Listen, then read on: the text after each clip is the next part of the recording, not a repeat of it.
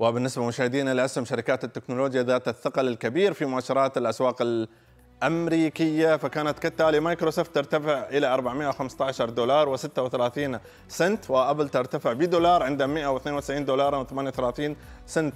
ميتا تتراجع بتسع سنتات عند 466 دولار و96 سنت.